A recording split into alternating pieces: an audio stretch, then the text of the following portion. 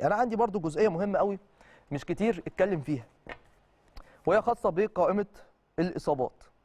قائمة الإصابات إحنا في فترة من الفترات وهنا أنا بالتحديد عايز أتكلم على الجهاز الطبي يعني في النادي الأهلي. فترة من الفترات كان عندنا تقريبا السنة اللي فاتت لو تفتكروا لعبنا الزمالك وكسبناه 2-1 وإحنا ناقصين 11 لعيب أساسي. بما فيهم الشناوي حارس المرمى. 11 لعيب أساسي وكسبنا الزمالك 2-1 فالسلبيه هنا كانت فين؟ في عدد الإصابات الكبيرة.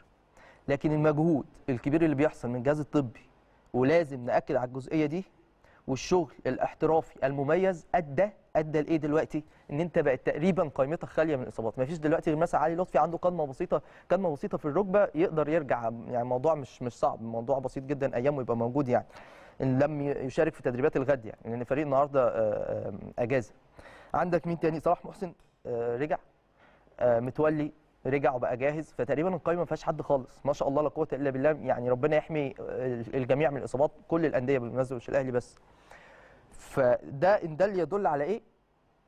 يدل إن أنت بقى عندك جهاز طبي ممتاز بيعرف إزاي يتعامل مع الإصابات بيعرف إزاي آه، يعالج يشخص الأول صح ويعالج صح يحط البرنامج العلاجي لكل لاعب. في جانب بقى تأ- تاني تأهيلي برضو ماشيين بشكل آه، مميز. لكن بالتحديد بركز على الجهاز الطبي لأن كان دايما الناس عندها آه، عدم ثقة في الجهاز الطبي للنادي الأهلي على مدار مراحل آه، كتير فاتت. لكن جه الوقت إن إحنا نحط ثقتنا بشكل كبير في أعضاء الجهاز الطبي في النادي ال- الأهلي لأن بصراحة عاملين شغل محترم. وده بيؤدي لإيه؟ بيؤدي إن أنت بتخلي القايمة بتبقى متكاملة فبالتالي المدرب يبقى عنده فرايتيز أو عنده خيارات عديدة يقدر يتحرك من خلالها في التشكيل في طرق اللعب. فبالتالي تقدر تحقق الناتج المطلوب فدي برضو جزئية وجب الإشادة بصراحة بالجهاز الطبي في النادي الأهلي والكل في الحقيقة بيقوم بدوره والكل ماشي آه، بشكل آه، مميز آه، جدا.